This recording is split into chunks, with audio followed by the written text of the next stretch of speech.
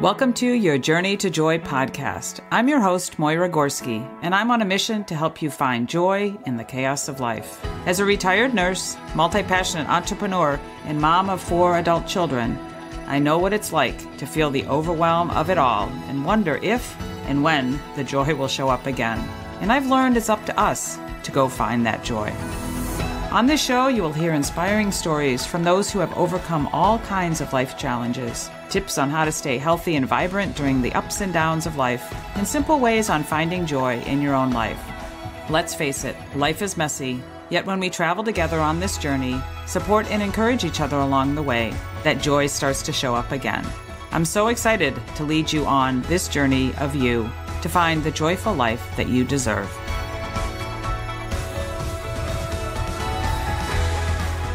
Well, welcome to another episode of the podcast. I am your host, Moyra Gorski. I'm so glad you are back here listening or just joining me for the first time. I uh, welcome you.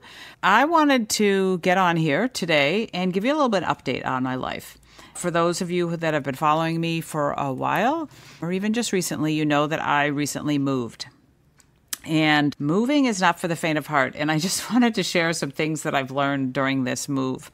We lived in I lived in the Midwest and I live in a, lived in a town called Wheaton. Lived in that community for 30 years. We got married in Chicago, lived in the Chicago in Chicago for a year and then moved out to the western suburbs. And so have lived there for a couple in a couple of different houses for 30 years. And the house that we were moving from, we lived there for 25 years. Beautiful home, raised our family there, got involved in the community and all of that, and we decided to move. that it was time to downsize. Our daughter is 25 and she is still living with us as she continues to work on not living with us, but she was going to move with us. But really, yeah, my husband's been saying, "Oh, I want to move out of." He wanted to move out of Wheaton, but I just I wasn't ready.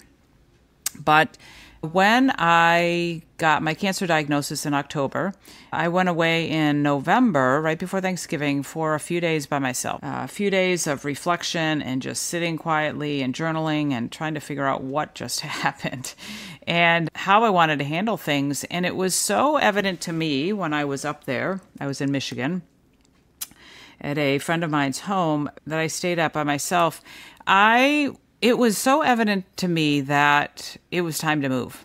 It was time to, it really came clear to me that I needed to f- figure out where the cancer was in my life and to put things behind me that no longer served me. And I'm not saying that our house didn't serve us and that it was a cancer in our life, because it certainly wasn't. Again, it was a lovely home. It really served us well, but it was time to it was time to move on. It really I, it was time to let go. It was time to really look at getting a fresh start, balancing some things out in my life, decreasing stress. And I just, and part of that was, I mean, I came home and told Tom, I said, I'm ready to move. I'm ready to sell the house. I'm ready to clean it out and to sell it. And that's what we did. And it, you know, as I, as I thought about things and started to consider the home that we had been at for 25 years. You know, I if you listen to me, I you know that I'm all about gratitude and being positive and working on being present today. And I didn't want to look at it as a negative thing. I wanted to first say, you know what, this house served us very well. And it did. We moved there when we had we had just had our, our daughter, our third child. And we kind of grew out of our previous house and it was time to get a larger home and move to a neighborhood and where we were going to have the kids start in their school and again get involved and all that kind of stuff. And that's what we did. And then we had a fourth child and we filled up the house with you know the four bedrooms and two and a half baths. We filled it all up. I had some wonderful memories there. And we had some not so good memories there. I don't know if you can feel me on that one but everything didn't go super great.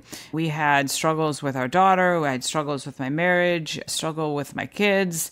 Just there was some there was some memory stuck there that I was happy to get rid of and to happy to put behind me. and and everywhere in between, the good, the bad, and everything in between. So it really it really started there for me. Like I wanted to be grateful for for that home and um, and I was. I was grateful that when I moved there, I was just beginning my business and kind of peeking into what the idea of having, being an entrepreneur was all about. And that home served me well with having meetings, having in home events, if you will, having meetings with my growing team, having wonderful celebrations around the pool. It was really, really wonderful for my business. I really got involved with the community. I networked, I met different small businesses, I met different people. I was able to, again, have events and, and parties in my home and demos and things like that. And it really was lovely. And I was grateful for that.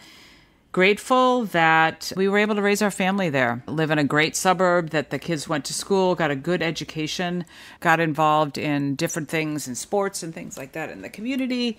And it was great for our family. I have great memories of our family there. The house filled with love, lots of family birthdays and holidays and you know all the things around the table and the christmas tree and the put a lot of we did some changes to the house and really made it our home that was warm and inviting and really served us. And so I was grateful for that. And it was time to close that chapter. And that's what we did. We decided to close that chapter of our life and find a new place to live. And it is not for the faint of heart. I'm telling you, to move from a place that is, well, what ended up happening is we put our house on the market. We wanted to see how much it would sell for, to see how much money we would have to buy another home. And we were really intent on paying cash for our house. So, and we had a little debt to pay off. So, we really wanted to see again how much money we had so that we knew how much money we had to play with if you will or to use to invest in our next home. So we started to look around in the neighboring areas and i don't know this is 2024 it's a wild wild west out there with real estate. There's not a whole lot available. Things become available and then they're not. Or they're just i found that there were things that they looked totally different online than they did in person. So we started to, I didn't get worried, but I really was what I, what I was what I was saying out loud and saying in my prayers and saying in my meditation that it was all going to work out. And then I was really drawn to this area of Geneva, which is about 25 minutes, 20, 25 minutes west of where we lived. It's a beautiful community, really nice, quaint little town, but just a great community. We would come out here and go for dinner every once in a while. I'd go meet for coffee with people out here. But I was really drawn to Geneva. And I just kept saying, you know, it's all going to work out. It's just going to be smooth. We're going to sell the house. We're going to find the house. We're going to move. And you know what? Lo and behold, that's exactly what happened. We sold our house in less than a week. We found lovely buyers who just really fell in love with our house, even though there was lots of work to be done in there. And they really wanted to make it their their own. They the wife was from the Wheaton area. She wanted to get back there. They have one daughter, and they just were excited to come in and make our home their home and fill it with their memories. And I was so grateful to be able to sell it to them and to really say, hey, here you go. We uh, here's the home. And what's interesting about the selling process is, you know, they encourage you, the realtors encourage you to neutralize your house, right? So we recarpeted it, we painted it all one color, like Dove White, I think was the name of it. And we took paintings off the wall. We just neutralized it. And you know what happened is that it because for a while there, I was like, oh, I'm going to miss this house. And wow, this is, again, great memories and all that. But you know, when you do that, you neutralize your house, it pretty much neutralizes it. And it really wasn't our home anymore. It was a home that we were selling, but it took that, it took that person, personality out of it. And you know that's what you're supposed to do right? So the buyers can come in and see how they can put their spin on it their personality on it and change some things or keep it the same or whatever. And so that really is what happened. So it really wasn't difficult to say yeah i'm ready to put this behind me and to move on to the next place. And again that's what we did two weeks ago uh, almost well about two and a half weeks ago we moved into this home. Now we went from a home of 3100 square feet to a little less than 1,600 square feet. so um, think about that. I mean, we had so much, and this is what I want to talk a little bit about on this too, is that we had so much to get rid of. And it was so evident to me that we, and I know that I've known this for a long time, and I think you guys can probably relate. Like, we live in a world of excess. Uh, we just have a lot. We have we have a lot, and I'm so grateful for that. But we have too much. We have more than enough, and that's really lovely.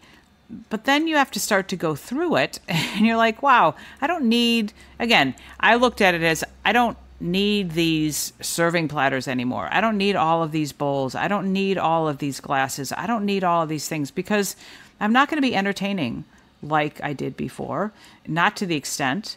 And if I need to entertain someplace with a very large group, then I'll go to a local restaurant or something like that. But it was time to, you know, get rid of that excess. And and again, it was so evident that me to me that like even though I didn't think that we held on to too many things, we held on to a lot of things. And we I ended up getting rid of things, throwing things out, donating, selling, all of those things. And a friend of mine said something to me once. She goes, Wasn't that really hard? I said, Listen, I mean, we did it in a couple of phases. We did it once before we were putting the house on the market because we needed to neutralize it all, right? And we had to, you know, declutter it and all that. So we did a good amount of that before we put it on the market and staged our furniture and, and things like that. And they brought in some some items and staged it around. So we did it once. And then once we found the house that we're moving into and we knew how much space we had, then it was time for another one. And we ended up giving things away. And I just, I told this friend of mine, I said, I'm just not attached to things. You know, what I've grown to know in 60 years of my life is that it's nice to have it's nice to have nice things, but I appreciate my health. I appreciate my time that I spend with my friends and my family. And I appreciate those memories. And for me, that's what's most important. It's not the stuff. It's not the stuff that, you know, I mean, again, everybody has different opinions of this, but our kids, you know, we have four kids, so we had four bins of, you know, each one had their bin of things, you know, their artwork and all that kind of stuff. And we spent time with the kids either on the phone or with a picture or when they came home and we went through those bins and I just said, "Hey, do you want this stuff?" And a lot of times they took a few things and then the rest they were like we don't want we laughed about it we look we laughed about all of the matching you know nutcracker pictures that they drew at Christmas time and the ceramic fish and all that kind of stuff. And then they're like, yeah, I don't really want it. I mean, they've gone on to establish their own lives and they don't want those kind of things. And so it really helped to not be attached to those things and say, you know what, this time has passed. This thing's time has passed. And we're just going to give it away, throw it away um, gifted. It felt good to be able to gift it to people, and that people would pick the stuff up and they're like, "Oh, I'm so excited for this." I'm like, "Here, have it." You know, I'm so glad that you're excited to use my thing that I don't really need anymore. Um, it was kind of heartbreaking that, like, my beautiful dining room table that had two leaves and you know eight chairs and a beautiful china cabinet. Nobody wanted it. Nobody wanted to buy it. Nobody wanted to consign it. So thankfully, I was able to donate it and somebody came and picked it up. And so somebody else is going to use that. So it's it's hard because you're like, "Man, I spent lots of money on that." But it nobody wants it anymore. You know, good dishes, collector's dishes that I had for my mother. Nobody wants it anymore. So I did a lot of donating of that. And and here I am today sitting in my new office I love it. I love our new home. I love the vibe of it. I love the vibe of the community. We moved to a, a boulevard that really is a nice, older, established neighborhood. We do back up to the high school, to a parking lot of the high school, and I kind of like that. There's some energy because school's going to start next week. I've heard the marching band practice this week. That's really cool. I was in the marching band, and so was our daughter, so that brings back great memories. But it's just, it's so neat, and I'm so happy. And I have to say, I feel like I'm on vacation. I still feel like I'm on vacation, and it, I think it's going to take a while to really know that this is you know, our home and, you know, our forever home for the next few years. My husband thinks, "Oh, maybe we're going to move in 2 years." I'm like, "Listen, honey, I'm not li- moving for I'm not moving for a little while." But again, we moved to a smaller place. One of my friends said to me, "It's okay when you downsize, when you move smaller, your life can become bigger." we were able to pay cash for this house, so we don't have that monthly burden. So we'll have more room financially to travel and to do other things. I loved that when she said that. And again, we don't, I didn't have the attachments to a lot of things and whatnot. So I was able to give those away. And many people have said, like, if you look at something as you're cleaning out your, you know, cleaning out your bedroom or you're cleaning out your downstairs or something. Take a look at the things and people say, "Oh, does it bring you joy?" I mean, you can think about that. Does this item bring me joy? I thought about that, and I did a lot of like reflecting back and like, "Wow, this did bring me joy. This served for this purpose." But um do I want to take it to the next place? Mm, no. Or yes, I think I do want to take it. But that's a really good exercise to do is to look at things and say, "Does this really bring me joy?" And if not, it's okay to give it away, to gift it to somebody else, and that kind of thing. So I just have a few things as I want to kind of wrap up what I'm saying here for my for my update, and I'm glad that you're listening. And I just, I really, it's it was such a learning experience. It was one of the most stressful times of my life. I will say that, and people say that it's moving is very very stressful, kind of like getting married and having a kid. And I, I definitely I definitely agree with that. And we're through it all. And I've gotten a massage and I've done some sound healing baths and things like that. And I feel like I've just, again, physically, mentally, spiritually put so many things behind me. I feel lighter. I feel more open to what's coming. I feel more open to a fresh start. And it was just that letting go of things. And so I want to, so I want to just again wrap up today by saying for to you guys a couple of things that I want to share and I want to encourage you to think about. Number one, what are you holding on to? Like, think about that. Like, many times we, the beginning of the year, we, you know, make New Year's resolutions or we clean out closets or we do spring cleaning or whatever. I encourage you to look around and, like, what are you holding on to?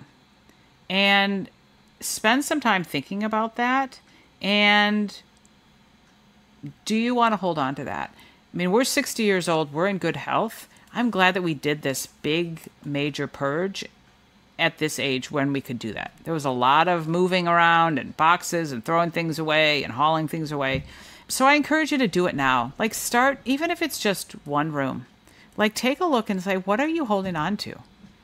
And kind of spend some time thinking about that because we hold on to things, we give meaning to things, and many times when we clutter up our lives, when we clutter, clutter up our minds, when we clutter up our areas, we're blocking ourselves from having other things come into our life.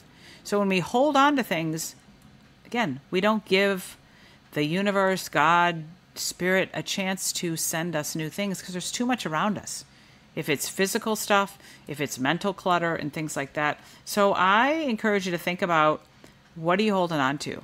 And if you need help getting through your house or getting through a room, then grab a friend or call a professional. There are professional organizers, there are people that will come as a neutral third party, if you will, and they'll help you clean through your things it is a lot of work. My sister's uh, new boy, new husband, had parents who were really close to hoarders, and he's been working almost this last year, probably even longer, to clean out their house because they both passed, and it's a lot of work, and um, it's just a lot of work. So I say, what do you hold? Think about what are you holding on to, and and I encourage you to start to to get rid of that stuff and think about that.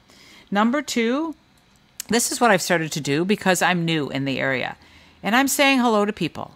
I go into shops or I go to the yoga studio and I say, "Oh, I'm I'm on a free pass this week cuz I'm new." And I say hello.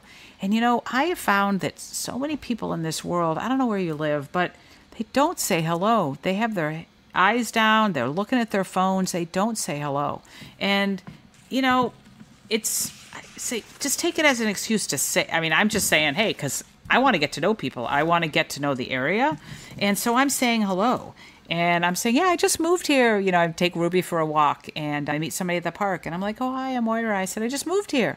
And so I say hello and the dogs meet and I meet them. And I've, I got some new friends all of a sudden. But it's so nice to just do that. Just say, slow down enough to say hello to somebody. Even if you've lived in your town I bet there's stores that you can go in. Maybe you can go to the library. Maybe you can go see a show. Maybe you can just go walk in your park and and make it a point to say hello to people. People will say hello if you say hello. Most will. But it's a time to again, get to know somebody, spread some cheer, spread some joy around by just um, just saying hello. I mean, I have a intention of checking out the shops because I love to shop and I love to support small businesses. And I knew all of them in Wheaton and Glen Ellyn. I don't know them out here in Geneva. So I'm going into the shops during the week and um, I'm walking there or I'm going meeting somebody at and I'm checking it out and I'm saying, hey, tell me about your shop and tell me about what you do and wow, this is cool. Where do you get these cool crystals? Where do you get these clothes or I don't know, whatever. Slow down enough to go and check things out and kind of act like you're a newbie or just say, hey, I've never really checked out your shop, even though I've lived in this community for 20 years. I want to get to know you and support you, that kind of thing. So say hello. That's what I say.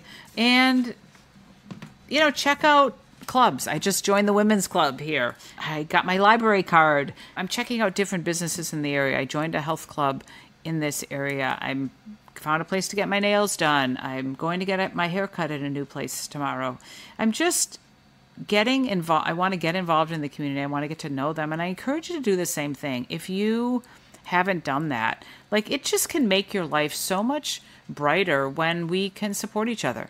And that means going in and just saying hello or, you know, posting something on Facebook in your community group and saying, hey, I'm looking for a walking partner, or I'm looking for a new place to take my dog to, or a new place to get a massage.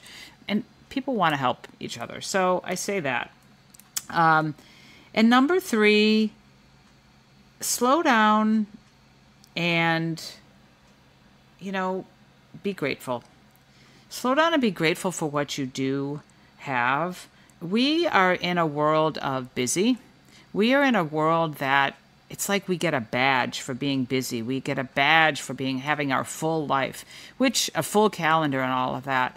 And albeit we find success, we find all of these great things, there is something to be said about slowing down and having an afternoon maybe that you sit on your new front porch and you read a book or just taking a nap or just going for a walk with your dog. I just encourage you to slow down and be grateful for what you have. Again, it was so busy for a couple of months around here, and now I feel like I'm taking a breath.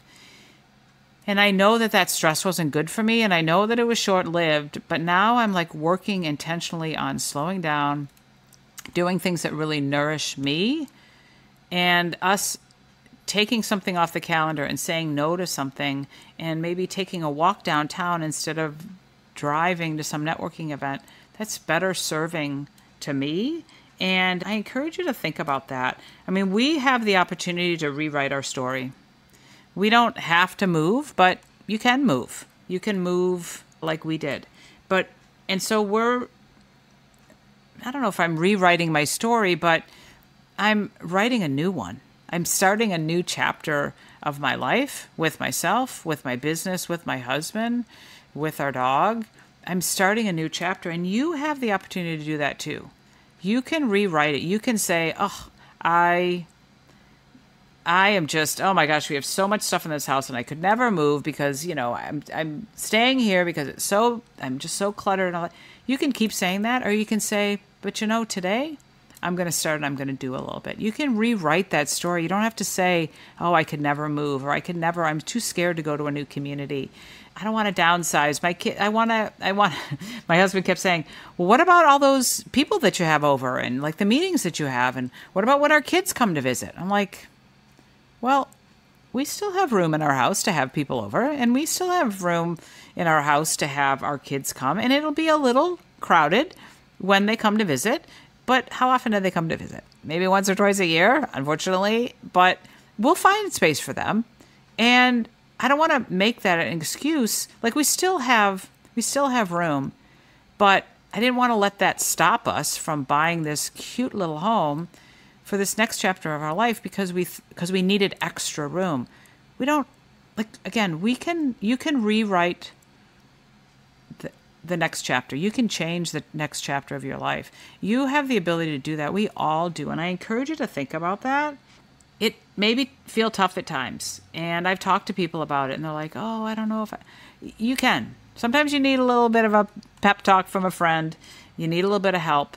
I had a friend who said, Anytime I can come over and I can help you purge through things. We'll turn on the music and, you know, pour ourselves a drink and you know do all of that stuff. So i encourage you to think about that that you can you can rewrite your story. It doesn't have to be the same thing.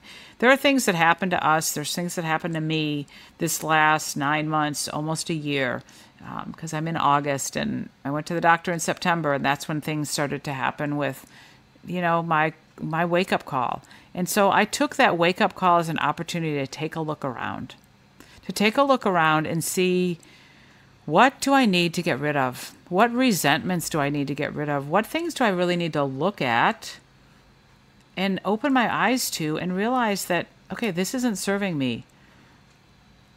This I don't want in my life anymore and get rid of it. And so that wake up call served me very well. And I'm just really grateful that I'm sitting here almost a year later in a new place. And I'm excited for this new flow new people, new opportunities, and just a new it's like a new story right in front of me. And so I encourage you to think about the things that I shared with you today on this podcast.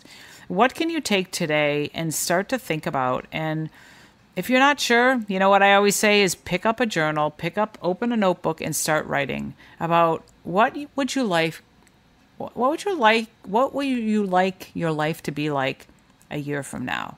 What do you feel like? You know, use that as a prompt. If you could create a life different a year from now, what would you like it to be like? What do you, another prompt is, what do you feel like's getting in the way? You know, do you feel stuck? What are the things that you need to let go of? You know, how can you make a fresh start? And I encourage you to think about that, spend some time with that, and then make just take those take those steps. And i can't wait to hear from you. I love when you share with me about listening to these podcasts and the things that encouraged you and encouraged you to be more joyful and to make that step forward into a more joyful life. So thanks for listening. That's my update on my move. I am so grateful for all of you who have followed along social wise or you know text wise and things like that i was at I went back to my old health club today because I have a couple of personal training sessions to finish up. And one gal's like, How are you enjoying your house? You know, we never know who's following us and watching us and stuff like that. But it's been lovely to have all the support of all of you guys. And again, I hope you got some value from this podcast. And again, making moves, um, putting things behind us, and just rewriting and creating a new story for yourself. So thanks for listening, everybody. We'll talk to you later. Make it a great, great day. Hey there, ready to live a more joyful life? Considering connecting with someone who can help you? If so, I'd like to be that person. I offer a free consultation where we determine where the chaos is in your life and how you can learn to bring more joy each and every day. Visit my website, moyragorski.com, or simply email me, moyra at moyragorski.com, with more joy in the subject line. I look forward to connecting. And I'm here to say there will always be some chaos, which requires a little juggling, but you can find joy and live your life intentionally filled with that joy. Let me help you on your journey to joy. And that's joy, the journey of you.